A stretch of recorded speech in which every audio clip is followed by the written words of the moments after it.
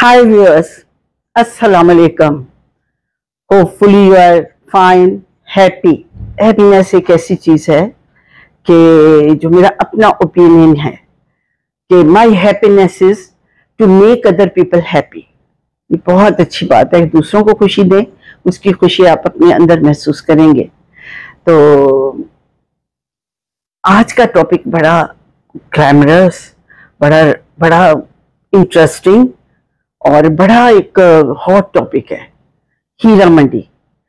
हीरा मंडी में गो के बहुत सारी नेगेटिविटीज हैं कंट्रोवर्सी है, सब कुछ है सिंपथी है, लेकिन मैं उस हीरा मंडी की बात कर रही हूँ जो आज कल हॉट टॉपिक है, बहुत ट्रेंडिंग में है। तमाम जो ब्लॉगर्स हैं यूट्यूबर्स हैं एनालिस्ट हैं दानिश्वर हैं और बहुत सारे लोग जो शोबिस में ड्रामा इंडस्ट्री में इंटरेस्टेड हैं इंटरेस्ट रखते हैं, वो हर कोई इस वेब सीरीज़ को जहर बहस लाकर इस पे मुख्तलिफ़ किस्म के रिव्यूज़ दे रहा है। संजय लीला बंसाली ने 200 करोड़ रुपए लगाकर मेगा प्रोडक्शन की है, जो नज़र आती है। वो कि हर फ़िल्म में कोई ना कोई फ्लॉज रह जाते हैं बहुत सारी खामियाँ रह जाती हैं। कुछ ऐसे ब्लंडर्स हो जाते हैं जो कि मतलब लोगों के लिए क्रिटिसाइज करने का एक बहाना बनते हैं और मौजू भी। तो ये फ़िल्म जब मैंने देखी, ये एट एट एपिसोड्स पे मुश्तमिल है और मैंने सोचा मैं थोड़ा सा देखूँगी और इस पे ताकि मैं बहस कर सकूँ। एक आध एपिसोड देख के मैं इसको बंद कर दूँगी। कि बस ठीक है, मुझे समझ आ गई ये क्या है, लेकिन वुड यू बिलीव इट ये बेशक मतलब दूसरी इंडस्ट्री ने बनाई है जो इंडिया से बिलोंग करती है, लेकिन जहाँ तक आर्ट का ताल्लुक है, वो मैंने देखा है। और मैं एक के बाद एक देखती ही चली गई। आठ एपिसोड्स मैंने देखी हैं। संजय लीला बंसाली ने अनडॉटेडली एक मेगा प्रोडक्शन बनाई है और उसकी इतनी लेविश प्रोडक्शन जो नज़र आती है, लगता है कि किसी किसी बादशाह का महल है और वो भी शानदार महल। और उसमें जो उन्होंने तवाइफें दिखाई हैं, वो लगता है कि वाकई उस वक्त का जो दौर दिखाया है, उस वक्त का एक एटमोसफेयर दिखाया है सराउंडिंग में कि इंतहाई सुलझी हुई खातन हैं, एक वेल मैनर्ड हैं वैसे भी नाजरीन, उस दौर में सुना है कि जो तवाइफें होती थी, अब तवाइफ में और सेक्स वर्कर में एक डिफरेंस था।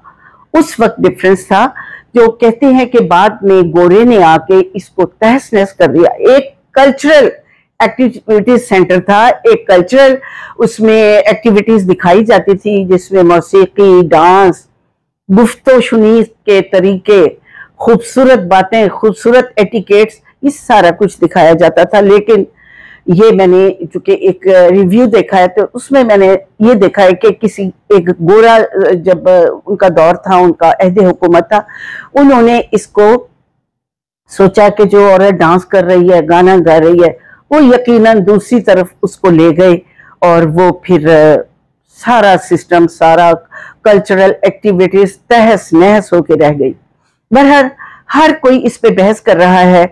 उसमें कुछ फ्लॉज हैं, जैसे कि उसमें दिखाया पीछे बुक शेल्फ है।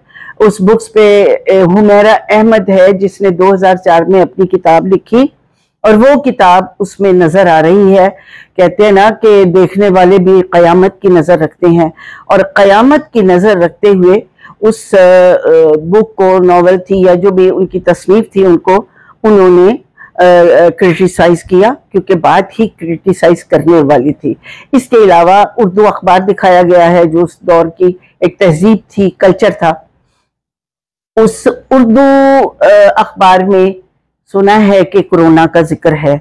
तो कोरोना को तो भी दो साल हुए और उस वक्त कोरोना शायद किसी और नाम से चलता हो और ना, और नाम से ज़िंदा रहा हो, या किसी और नाम से आबाद होगा। बहरहाल कोरोना उस दौर की पैदावार नहीं थी।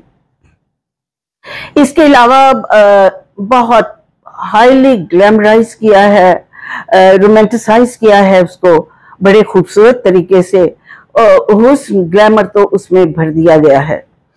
लेकिन एक बात कहूँगी संजय लीला बंसाली ने आ, सुना है जो हीरोइन है रोमांटिक हीरोइन जिसका नाम आलम आलम है उसको वो उनकी भांजी है। और उस पे ये एतराज़ किया गया है कमेंट्स में। ये आया है कि उन्होंने वो एक्सप्रेशन लेस फेस है, और वो एक्सप्रेशन नहीं दे पाई जो एक एक्सपीरियंस या आला किस्म की एक्ट्रेस दे सकती है, वो अपने फेस से, वो स्क्रीन पे नहीं बता सकी कि इसमें कौन से एक्सप्रेशन जो है वो वैलिड हैं और इम्प्रेसिव हैं।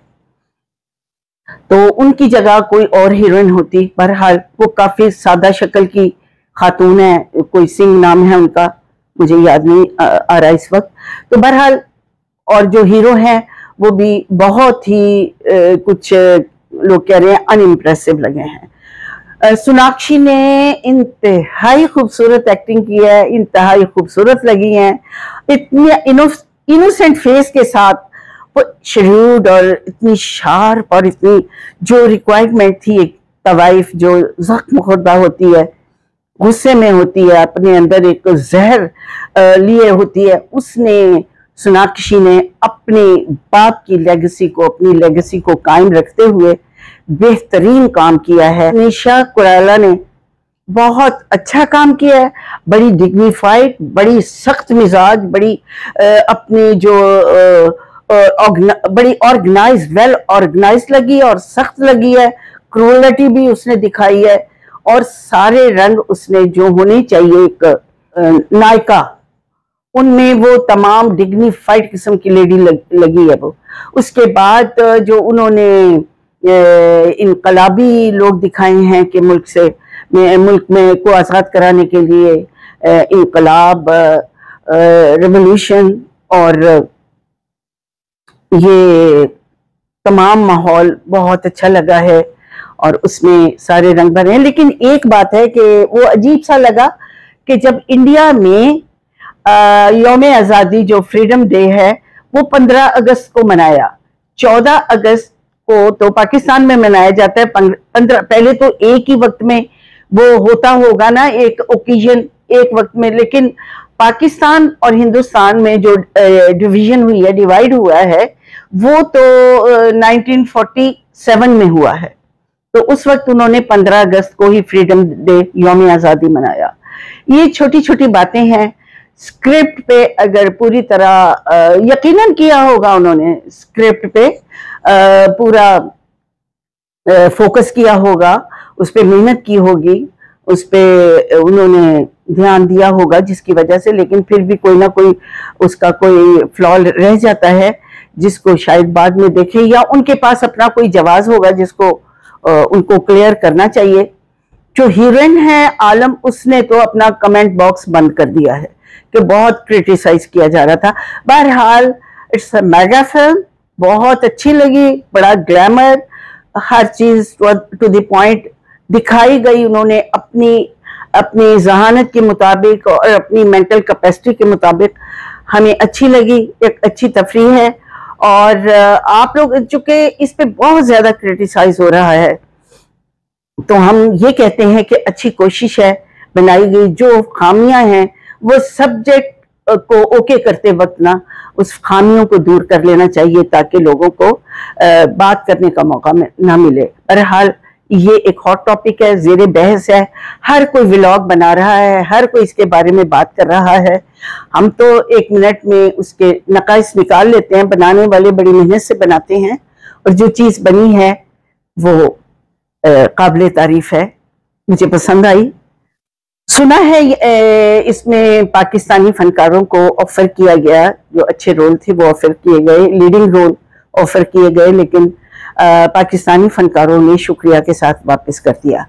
लेकिन इतनी खूबसूरत हीरा मंडी हम तो जा, जी चाहता कि जाके लाहौर में देखी हीरा मंडी कैसी है। वो तो एक दो दफ़ा खाने गए हैं पाए वगैरह अपने हस्बैंड के साथ गई थी क्योंकि उन्हें खाने का बहुत शौक था। तो वो तो मुझे सारा कुछ ही उजड़ा उजड़ा बाहर से देखा उजड़ा उजड़ा नज़र आया। इतना ग्लैमराइज जैसे किसी बादशाह का महल हो और तिजोरियाँ भरी होती थी। बहरहाल it was a good movie अच्छा लगा मेहनत से बनाई और आ, अच्छी कोशिश थी। तो नाजिन मैं यही कहूँगी कि अगर कोई आ, अपनी कोशिश से बनाता है और uh, कोई अच्छी चीज़ कोई शाहकार बनाता है तो उसको अप्रिशिएट करना चाहिए।